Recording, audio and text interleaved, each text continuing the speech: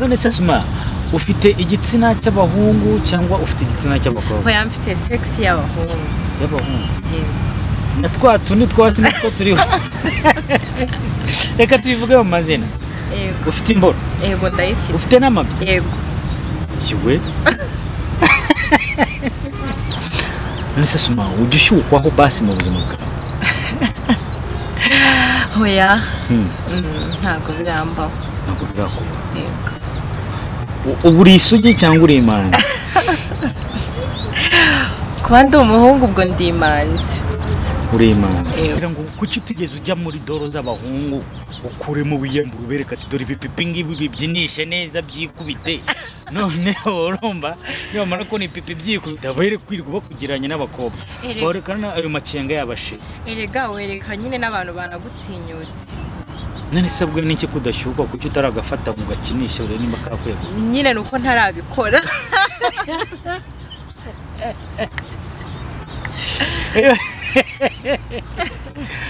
Rero birasaba uzagafate neza ugakinisha ku gapipi kawe urebe nimba kakweguka cyangwa unafate n'umukobwa ariko. Fate n'umukobwa umujyane mu cyumba ati ngengeye kukwereka ko ndasoma. Kujyanye umukobwa akabona muteye kimwe ikintu mutandukaniyeho ni sexy yakwiruka. Kujya woza bimuganiriza uzagenda ugura indaya ba bagore b'idana badandaza amagara. Umubwira ati njyewe mfite ikibazo iki n'iki n'iki. Dore mfite inote yanjye. Sibyo? Ndayiguha tugende nikubeho ndebe nimba kakweguka aho uri kunshuka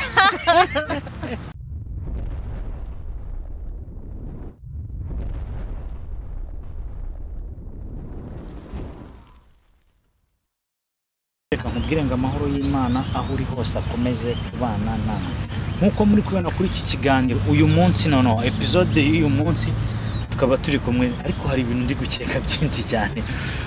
Nibaza ni umuhungu ni umukobwa? Watangira wibwira abantu badukurikiye. Sawa murakoze kunyakira mu kiganiro. Ah, amazina yanjye nitwa asumani imana iranyumva. Nkaba mvuka mu karere ka ngororero umurenge wa kabari asuma ni asumani ni asumani nde ni asumani umuhungu umukobwa? W'umuhungu w'umuhungu yego. None se asuma utandukanira he n'aba bahungu baryamana n'abandi bahungu? Ah, ahantu ntandukanira nabo nuko ntabikora. Uko utabikora. yego. Asuma none se reka nkuriza akabazo mbere yuko twinjira mu kiganiro neza. None se asuma ujya ushyukwaho basi mu buzima bwawe? Hoya. Hmm, Mm, ntabwo birambaho ntabwo U- ubu uri isugi cyangwa uri imanzi kuba ndi umuhungu ubwo ndi imanzi. Uri imanzi? Ubundi asumani ubuzima bwe buteye gute? Imibereho yiwe gute yisanze? Noneho ari umuntu w'umuhungu wishyiraho ibisuko by'abakobwa wambara amaherena kandi ari umuhungu. Noneho binagaragare na taye zawe ni abakobwa. Ko mbona si igituza cyawe noneho ubwo wagira ngo na cyo ni icy'abakobwa atari icy'abahungu ubwo nyine ibyanjye byose biratandukanye. Mm, biratandukanye. Mm, eh asimani ubona hano nyine ni umuhungu. Ubuzima bwe bwa buri munsi bwashanze benshi. Mm. Bwaca- bwacanze benshi kuko bamwe nyine ntabwo bajya bemera ko ndi umuhungu. Bumva ko nyine ndi umukobwa. Iyo mvuze ngo ndi umuhungu baba bumva ko mbabeshya. Ariko ndi asimani w'umuhungu. Asumani uri umuhungu ubuzima bwawe rero mu ivuka ryawe no mu gukura kwawe bwagenze gute? Eh, ubuzima bwanjye ni ubuzima butangaje. Mm, gusa ariko ntabwo ari ubuzima bwiza. Urebye mu buzima habazamo ibyiza n'ibibi. Ariko byose ntabwo ari twe twitegurira ni imana iba yarabiduteguriye. Ah, mu buzima bwanjye nyine kuva mvuka byari ibintu byari ingorabahizi uko mvuka uko ngenda nkura uko ngenda ntera sitepu mbese ni ibintu bigoye cyane. Ariko uko ngenda mbicamo uko ngenda naguka no mu bitekerezo birushaho bigatuma niyakira. Yego. ushobora kugenda wiyakira. Ndashaka nkubaze utangira kwiga. Wari umeze na gutya se wiyumva nk'abakobwa cyangwa wiyumva nk'abahungu? Eh, ntangira kwiga uko mbona niko narindi sinigeze mpinduka muri njyewe. Eh, kera noneho bari nyine kuva kera bari bazi ko ndi umukobwa.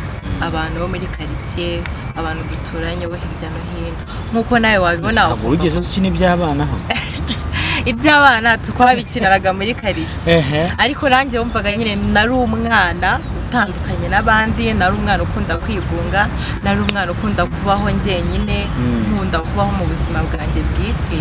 Niyo mpamvu ntakunze gusabana n'abantu cyane. Eh, noneho mu gukura kwawe utangiye ishuri.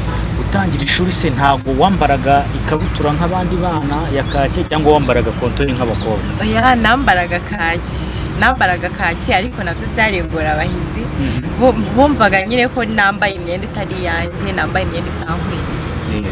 Ariko nk'abihorera nkakomeza nkiyambarira nkumva ntacyo bintwaye. Umubyeyi ujya kukugurira imyenda ntabwo wamwitinjije kuko ari kugurira hari impamvu rero ntabwo ngiye nabaga nayanga kuko abantu babivugaga. Nkiri umwana mutoya mbese nari ndi umwana nyine numvaga ari ibintu bisanzwe nkumva ari ukunsereza nkumva ari ukuntuka bamwe banyitaga mbese amazina atandukanye. Ntabwo bigezeho no kwita cy'abakobwa ayo mazina nyine barayakwita ntabwo ari njye njyenyine bayita. Ngira ngo aho ngeze ubu ngubu maze kumenya abantu benshi nagiye nganira nabo n'ubuzima bwabo nyine butandukanye bwa buri munsi ariko si njye njyenyine pe. Tugaruke inyuma gatoya mu by'abana. Iyo baga uri gukina iby'abana wakinaga uri icy'abakobwa cyangwa wakinaga uri icy'abahungu turi gukina iby'abana Mm. urumva imico yanjye ntiya gikobwa karagiteri zanjye zose ni iza gikobwa.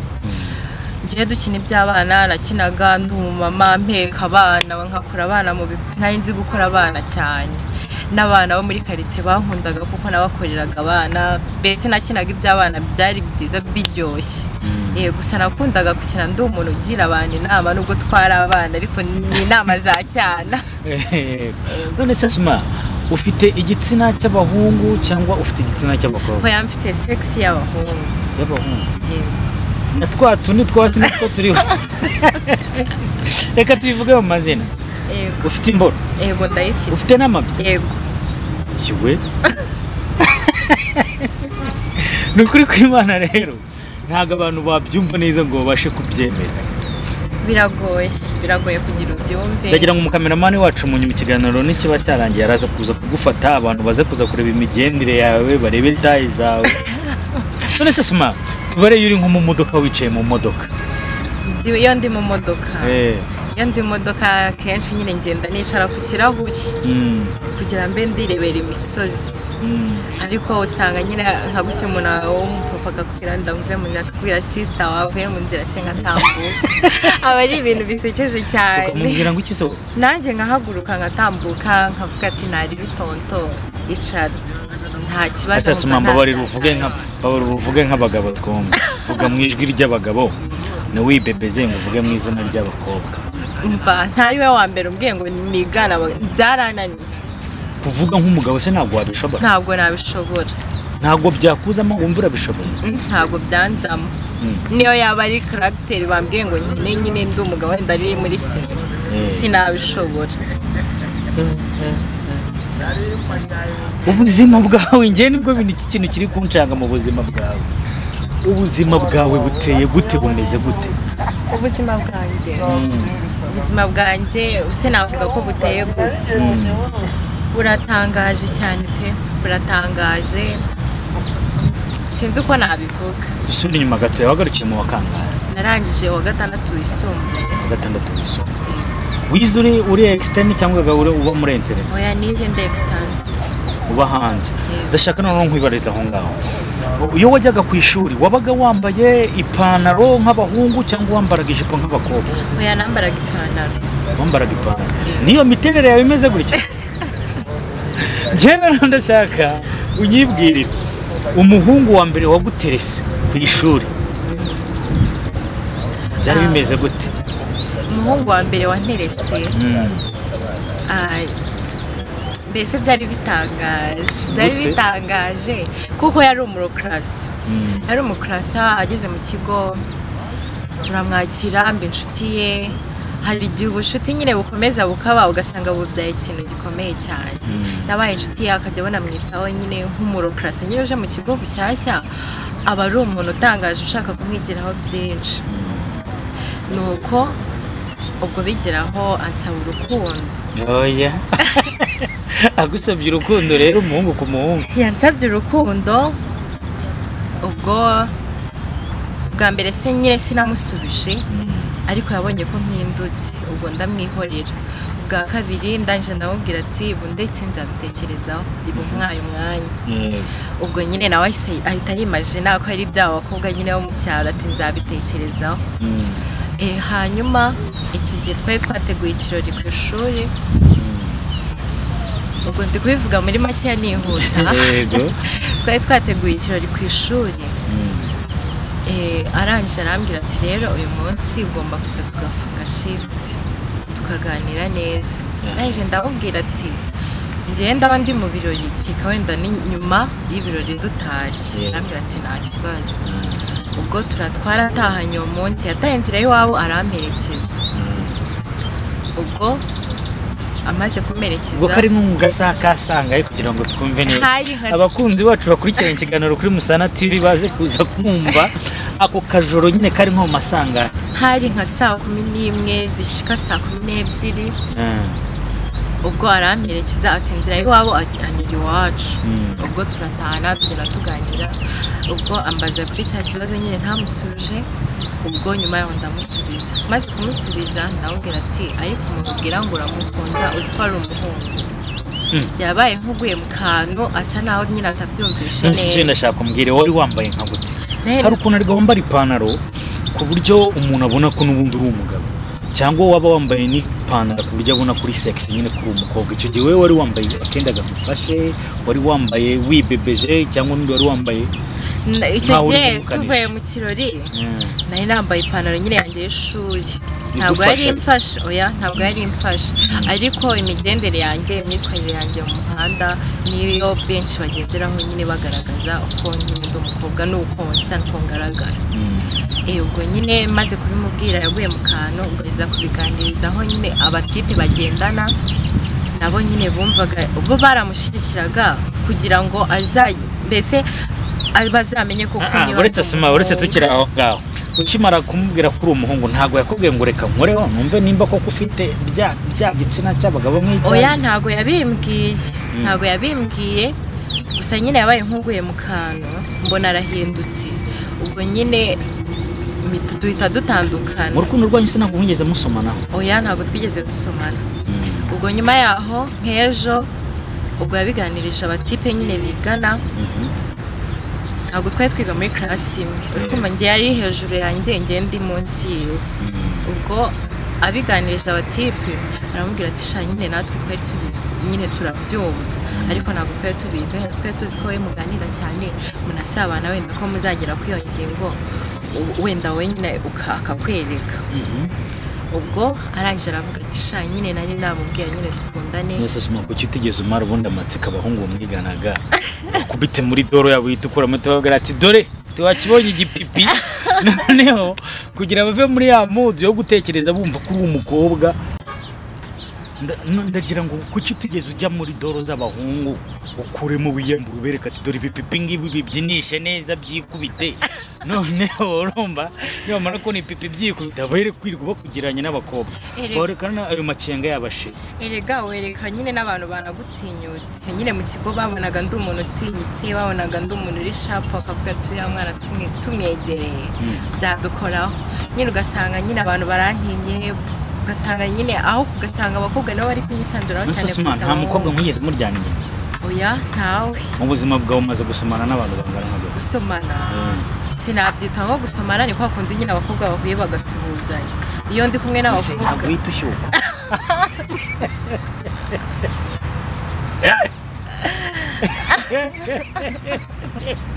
mbwira suma nyine tubare uruhuye n'umukobwa murahoberanye.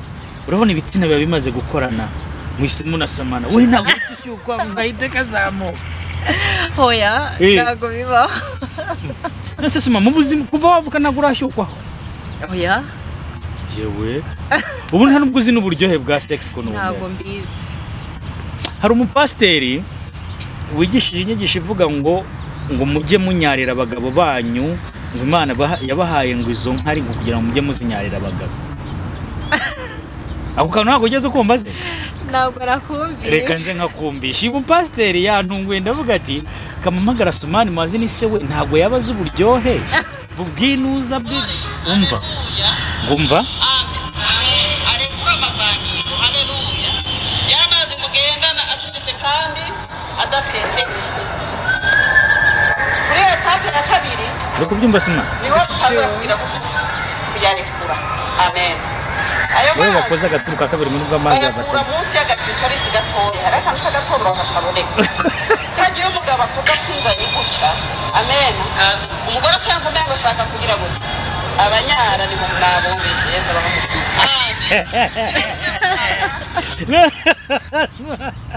urumva? Uranyumviriza inyigisho z'uyu mumama ngo abanyara yabumvishe ngo yesu abaho umugisha cyane. Asifiwe noneho ndibaza. Nimba n'abakozi b'imana basigaye bigisha buno buryohe bw'imibonano mpuzabitsina wowe ukaba utarayikoraho nta nubwo ujya ugira n'amashyushyu yabyo ngo cyangwa wumve uko bimeze cyangwa ngo unakore no ku mubiri w'umukobwa ku gitsina cyangwa wumve ukuntu bimeze. Oya ibyo ngibyo hari ukuntu umuntu yicara akitekerezaho akavuga ati se ndi mu ntoki ese njyewe iyo nganiye n'abandi nkumva bari kuvuga ibi ngibi bye bikaba bitambaho. What? ni ukubera iki koko? Ubwo nyine bikambaho gutyo nkabitekereza nyine bikaguma mu ntekerezo. Nkumva nta kindi nabihinduraho. Kwikinisha urabizi? Kwikinisha ndabizi cyane. Ujya wikinishaho? Oya ntabwo njya nikinisha. None se bwe n'iki kudashyuka kuki utaragafata ngo ugakinishe urebe nimba kakwego nyine ni uko ntarabikora.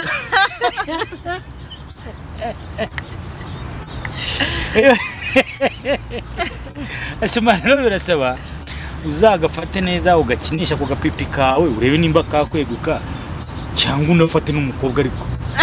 Fate n'umukobwa umujyane mu cyumba umubwate ngengeye kukwereka ko ndasoma. Kujyanye umukobwa akabona muteye kimwe ikintu mutandukaniyeho ni segisi yakwiruka.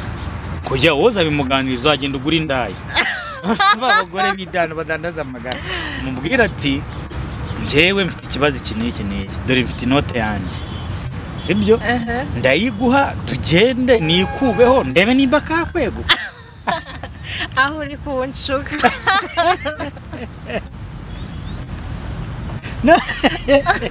oya ntabwo ndi kugushuka uyu uri kunshuka. Asuma ugomba kwimenya reka. None se nimenyere nimba pasiteri avuga oya ngo ubwo n'urugero buryohe ari sibyo? pasiteri. Reka tuganire. Sibyo reka Mm. tuganire. Ah, ni urugero. Yego. Ndi kugira ndebe ko keguka. Sibyo ujyanye indaya mu nzu y'abandi. Mba numva ngo indaya n'abagabo ngo bararwana iyo gahunda itagenze neza. Oya Oya. kuko wamuhaye amafaranga. Reka reka. Hari igihe ushobora kugenda mwagera muri shambure wamushyira muri mudu utamurangira Ama- erega hari igihe amafaranga aba nta kintu avuze ariko nawe wishimye niyo yagiye. ariko njye numva bari abantu badandaza amagara ntabwo aba yitaye kuri sex ahubwo aba yitaye ku mafaranga. Kuko n'abahungu benshi twaganiriye mu biganiro baba bavuga ngo gira vuba vuba nigenda gira vuba. Cyangwa nzaguhuze na Si fisi. nzaguhuze na fisi nyamunini. Oya si bose Eh. si bose. si bose aho turekera none se Eh, nta gasore se muri ino minsi ubu kari kukwiyumvamo cyangwa ubona ngo sms tujya ku ma sms rero iyo ubonye nk'umuntu akwandikiye ati dahari turabona ati nzagupfira turi izuba turi ukwezi ati iri nk'ifi mu nya mbega ya mitoma y'abasore Ego. ubyakira gute? Mbyakira gute? Mm. Sinakubwira ko mbyakira gute buriya? Nyine mba numva ari ibintu bidasanzwe kuri njyewe none se utanga nimero nk'umuhungu cyangwa utanga nimero nk'umukobwa? None se umuntu yakwatse nimero uyitanga Eh. uzi ko agamije iki? Oya hari igihe aba agamije kukugisha inama cyangwa agamije ko muganira ibintu byinshi. Eh. rega hari umuntu ntumwime nimero Eh. kuko utazi akamaro k'icyo kumarira ni ubwa mbere akunze wacu wa musana tv ni ubwa mbere nkoze ikiganiro ngaseka nkumva ko mbohotse muri ngewe rwose tuba ruri muri tagisi umuhungu akwicaye iruhande. Agatangira ko kwiryamisha uramubwira ati se wanyegutseho tereka nanjye ndi umuhungu mugenzi wawe. Oya. Cyangwa uramureka kugira ngo wumve ubwo bushyuhe nako ukuntu kaba gahomora. Nawe urasekeje n'ukuri ubu se mu modoka umuntu yakuryamaho utabishaka. Erega na byo aba ari ukubangamira umugenzi keka uko- wenda muziranye. Ntabwo umuntu apfaga kuryama ku umuntu bataziranye. Cyangwa wenda hari ukuntu imodoka iba wenda igeze nko mu ikoni umuntu wenda ya- yakata ikorosi akaba akakuguyeho. Mm. nyine hari nk'umuntu uba wiha respect akakubwira ati eh sorry sisi sorry basi. Mwese ukoresha whatsapp? Yego ndayikoresha oya wanyumishe basi nk'akavoyisi kamwe k'umuhungu ukuntu yaguterese kumva ko ntabwo